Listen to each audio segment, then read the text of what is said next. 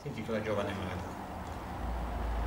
Giovane madre coi capelli rossi, quel rosso dolce che inclina al dorato, sulle ginocchia ha il bimbo di forse un anno, che si gira intorno, ride, sorride, si rabbuia, ride.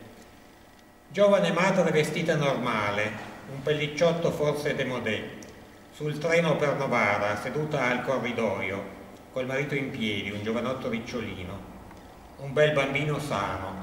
La sua mamma ha la fede nuziale all'anulare e suo papà lo guarda con orgoglio impacciato, muove un dito davanti a lui, quasi benedicendo. Giovane madre che va tutto bene, così parrebbe, ma dentro i suoi occhi, di cui non ho percepito il colore, trovo un dolore chiuso. Non è soltanto una malinconia, è un corrodere stretto, una nascosta ansia mortale che la tenerezza delle mani sul bimbo non può sciogliere. Ha un opaco che segna sulla pelle la perdita di un sogno, una stanchezza fra la guancia e il collo, e per un colpo di tosse si piega come a celarsi al mondo. I passeggeri, in vena di ciarlare, sono larghi di assensi e complimenti per tutto quel quadretto familiare, se ne ristorano il cuore e la mente.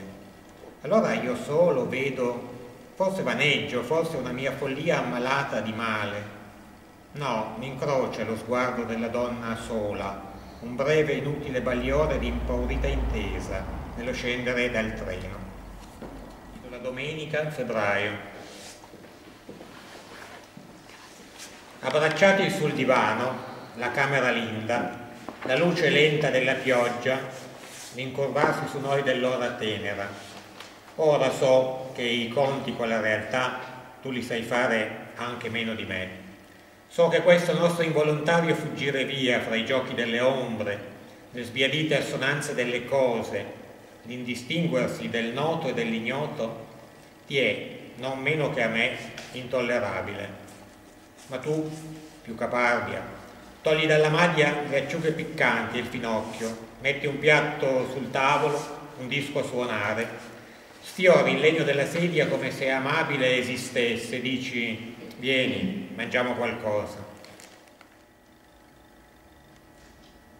Non spaventarti se trovo meraviglia in questo video che ho spezzato in attimi e che per te, e forse per tutti, è soltanto un banale lavoretto di modella di nudo, per un fotografo nemmeno dei migliori. E forse alcuni addirittura avrebbero da farci critiche con stampi morali.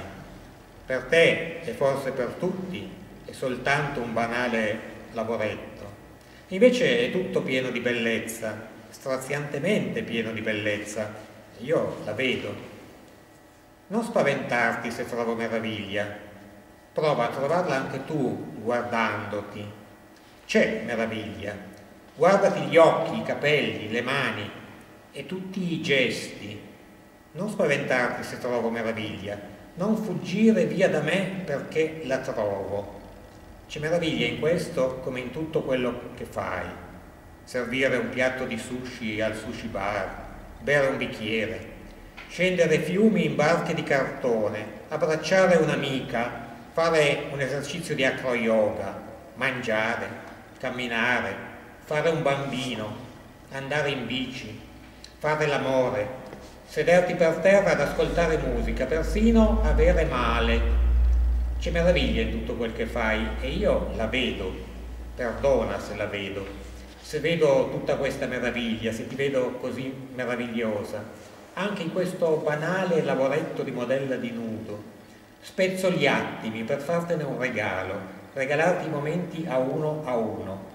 Perdona se ti guardo con incanto, vedo l'incanto che ti rimarrà per sempre, anche da vecchia, perché c'è un sempre dentro la bellezza, anche se tutti dicono il contrario. Non spaventarti se trovo meraviglia, guardati gli occhi, i capelli, le mani e tutti i gesti. Non spaventarti se trovo meraviglia, non fuggire via da me perché la trovo, non spaventarti se trovo meraviglia, se trovo che tu sia meravigliosa.